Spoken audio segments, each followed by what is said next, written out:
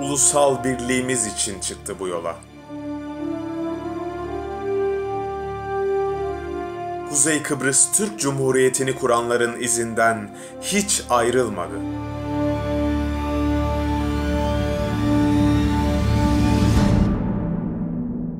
Hiç yalpalamadı, hiç yorulmadı.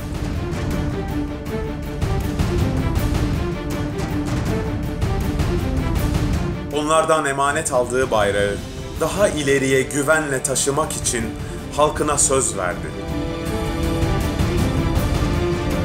Varoluş mücadelemizde can verenleri hiç unutmadı, unutturmadı.